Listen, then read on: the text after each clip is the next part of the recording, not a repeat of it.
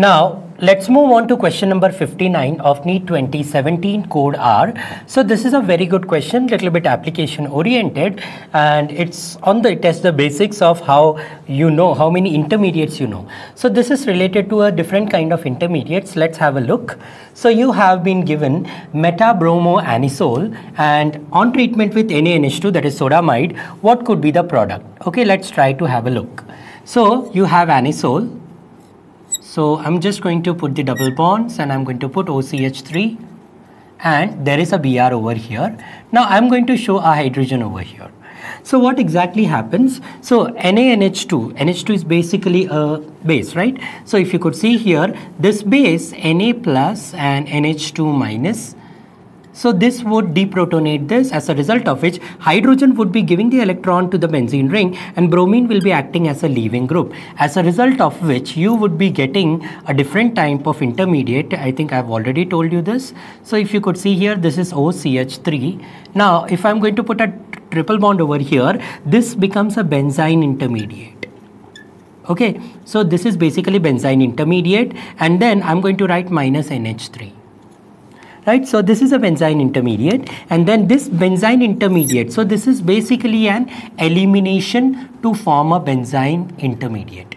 Now this benzyne intermediate undergoes addition so in, in, addition, what exactly happens? The bond breaks. Now the question is whether NH2, NH, uh, addition of NH3 that's going to happen. NH3 is basically NH2 minus NH plus. So if you could see here, what exactly you could conclude in this case. So if you could see here, NH2 and H both have to add an attack somewhere, right? So if you could see here, very, very simple thing. So this carbon is connected to oxygen and this is a heteroatom, right? More electronegative atom. So it would be deactivating this position little bit more than this. As a result of which nucleophilic substitution would be, nucleophilic addition could be prominent over in this case. So NH2 would come here and H would come here and as a result of which you would be getting uh, OCH3 NH2 right anisole becomes the name of this compound is orthoanisidine if it is CH3, then you say toluidine, right? So anisole becomes anisidine in this case.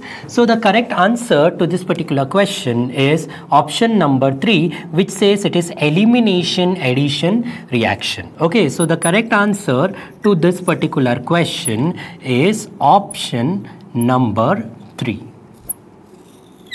Okay. So uh, this was about question number 59. For more such videos, please comment, like or subscribe.